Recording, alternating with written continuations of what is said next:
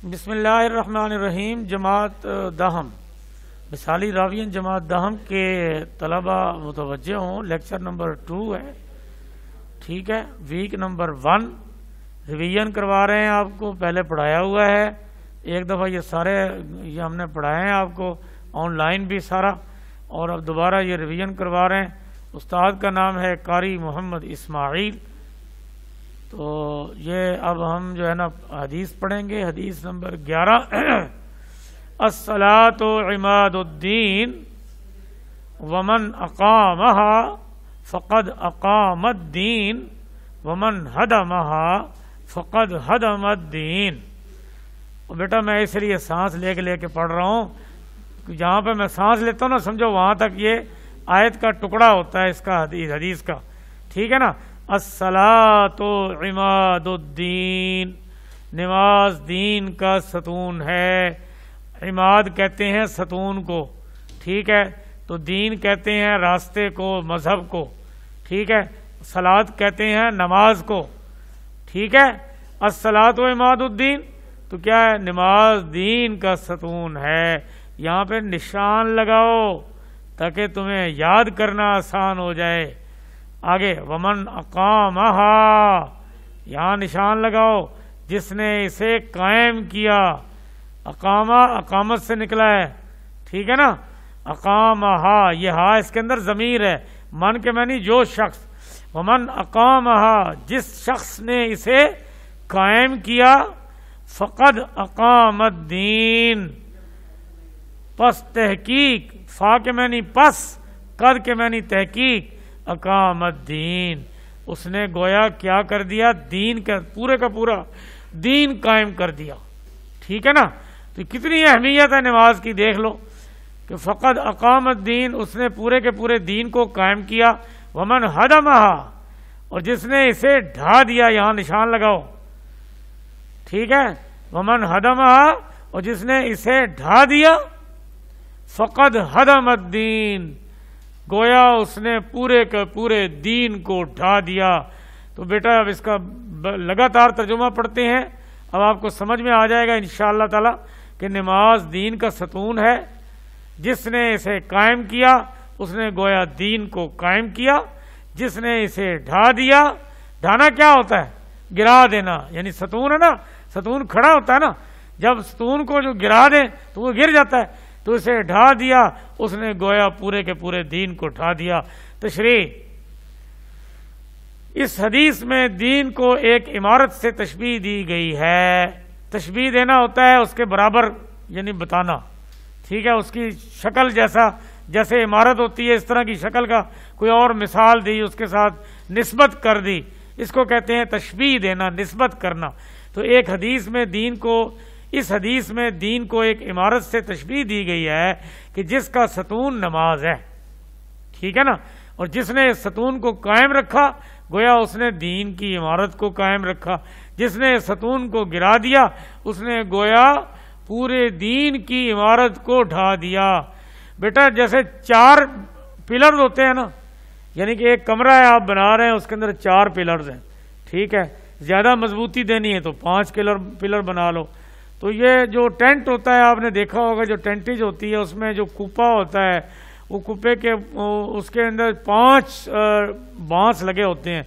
एक बड़ा वाला जो बाँस होता है, वो सेंटर में होता है, चार इधर उधर होते हैं।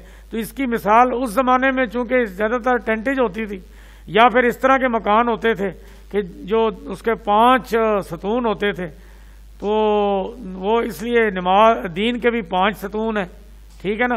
कलमा है, नमाज़ है, रोज़ा है ज़क़़त है, हज है तो ये पाँच सतून है।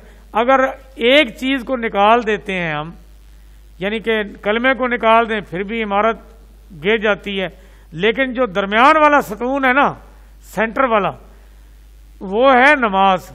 अगर वो बड़ा पोल गिरा दिया जाए, खींच दिया जाए तो पूरे का पूरे जो है ना, वो पूरा टेंट नीचे आ जाता है। तो इसकी मिसाल अल्लाह के नबी सल्लल्लाहु अलैहि वसल्लम ने नमाज़ की दी है कि ये जो सबसे बड़ा सतून है, ये है नमाज़। अगर ये गिर गया ना तो फिर समझो तुम्हारी जो है ना दीन शीन फारग हो गया। ठीक है ना तो नमाज़ बेटा नहीं छोड़नी है। नमाज़ की अहमियत बयान हुई है। आगे चलें जी, इससे नमाज़ की अहमियत वाजे की गई है। हर मुसलमान के लिए रोज़ाना पाँच मरतबा ईमान के इम्तिहान का मौका आता है। मौजन इसे नमाज़ और फलाह की तरफ़ बुलाता है, पुकारता है। ठीक है ना? अगर वो इस पुकार पर लब्बैक कहता है, लब्बैक के क्या मैंने होते हैं? कि मैं हाजिर हूँ, मैं हाजिर हूँ। वो चलता है, कहता है, दौड़ पड़ता है तो गोया वो अपने ईमान की सदाकत सदाकत मीन सच्चाई, कि यानी सच्चा ईमान रखता है दिल के अंदर। तो ईमान की सदाकत की गवाही देता है। इसके अलावा वो नमाज़ ही वो अमल है। अमल के मैंने क्या होते हैं? काम। ठीक है ना? यानी नमाज़ ही वो अमल है जिसके ज़रिए इसका अल्लाह ताला से ताल्लक है, वाबस्ता है अल्लाह ताला के साथ और रबता कायम रहता है। जो तरक नमाज़ से कमज़ोर हो जाता है, तरक नमाज़ क्या होता है? नमाज़ छोड़ देना। अगर आप नमाज़ छोड़ दें तो फिर आप आवारा गर्दी में हो जाएँगे, आप बेफिक्र हो जाएँगे तो जो है ना वो अल्लाह ताला के साथ ताल्लक जो है वो टूटता जाएगा। वीक होता जाएगा, वीक होता जाएगा। ठीक है जी, नमाज़ जो है ना, इसलिए कहते हैं नमाज़ जो है वो बहुत ज़रूरी है। तो नमाज़ पढ़ने वाला एक तो पाक साफ़ रहता है, अपने कपड़ों की भी हिफाजत करता है, अपने जिसम की भी हिफाजत करता है। गुनाहों से बचता है, झूठ नहीं बोलता, फरेब नहीं करता, धोखा नहीं देता, किसी को तंग नहीं करता, क्योंकि वो अल्लाह के सामने हाजिर होता है। जब वो नमाज़ पढ़ता है, अगर नमाज़ सही तरह पढ़ी जाए ना, जिस तरह पढ़ने का हक है, इसके जो अल्फाज मैंने एक ऊपर तवज्जो की जाए तो फिर इंसान बहुत कुछ सीखता है। तो फॉर्मेलिटी पूरी करनी है, जैसे आजकल हम लोग करते हैं। गया, दो ठंगूरें लगाई और वापस आ गया। ये नमाज़ नहीं होती बेटा। नमाज़ वो है जो हज़रत अली ने पढ़ी थी। वो समझ आई है कि तीर चुभ गया था ना तो तीर वो निकालने नहीं देते थे, दर्द होता था। तो किसी जो है ना, बूढ़े आदमी ने मशवरा दिया कि जो हज़रत अली है ना, ये फना फिल्ला हो जाते हैं जब नमाज़ में खड़े होते हैं।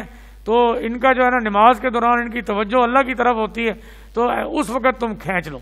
लोगों ने ऐसे ही किया, ने तीर खींच लिया, ऊपर दवाई लगा दी, और जनाब, हज़रत अली जब नमाज़ खत्म की है, उन्होंने कहा हाँ अभी आप लोग किधर आए? उन्होंने कहा, जी, हम तो तीर निकालने आए थे। उन्होंने कहा अच्छा तुमने तीर निकाल भी दिया? हाँ जी, निकाल लिया। तो वो उस वक्त वो तो अल्लाह वाले थे, वो तो अल्लाह के वली थे। वो भाई, हमारी नमाज़, आज जो है ना, वो नमाज़ पढ़ते हुए अगर कोई कीड़ा भी आ जाता है ना, ये च्यूटी तो फिर भी हम उसे हटाने लगते हैं। और नमाज़ में हमारी तवज्जो कहीं नहीं हो, अल्लाह की तरफ़ तो होती नहीं। तो ऐसी नमाज़ पढ़ो जैसे हज़रत अली ने पढ़ी थी, ऐसी नमाज़ पढ़ो जैसे हज़रत उमर ने पढ़ी थी, ऐसी नमाज़ पढ़ो जो हज़रत अबू बकर सद्दीक रज़ी अल्लाह तहों ने पढ़ी थी। ऐसी नमाज़ पढ़ो जो हज़रत उस्मान गनी ने पढ़ी थी। और ऐसी नमाज़ पढ़ो जो मेरे आका मौला मोहम्मद अरबी ख़ातमनबीन सल्ला वसल्लम ने पढ़ी थी। ठीक है बेटा, बहुत शुक्रिया, आपने ये हदीस याद करनी है और इसकी तशरी भी याद करनी है। कोशिश ये करो, लिख कर याद करो। और ये असाइनमेंट में आपकी हदीस मौजूद है। आपने असाइनमेंट भी वसूल करनी है और जमा भी करवानी है। इसके नंबर होंगे बाकायदा और जो आपके बोर्ड को भेजे जाएँगे, लिहाजा मैं आपको तलकीन करता हूँ कि यहाँ आए और अपनी असाइनमेंट वसूल करें और उसे हल करके हमें जमा करवाएँ नंबर लगवाएँ। बहुत शुक्रिया।